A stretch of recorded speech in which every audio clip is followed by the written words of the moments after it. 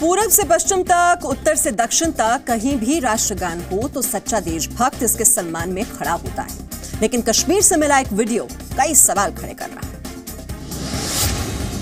जम्मू कश्मीर की एक यूनिवर्सिटी में राष्ट्रगान के अपमान का आरोप लगा है। आरोप है कि सेंट्रल यूनिवर्सिटी ऑफ़ कश्मीर में राष्ट्रगान के दौरान कई स्टूडेंट्स बैठे रहे। गुरुवार को दीक्षांत समारोह हुआ था। इस कार्यक्रम के वीडियो में कई स्टूडेंट्स बैठे दिख रहे हैं।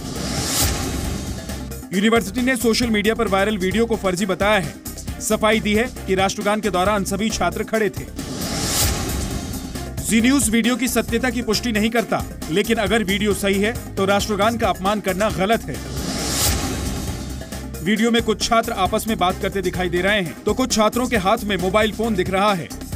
यही वो वीडियो है जिसे सेंट्रल यूनिवर्सिटी ऑफ़ कश्मीर के दीक्षांत कार्यक्रम के दौरान का बताया जा रहा है। राष्ट्रगान की धुन बज रही है। छात्र छात्राएँ इस सम्मान में खड़े हो गए, लेकिन कुछ बैठे ही रह गए।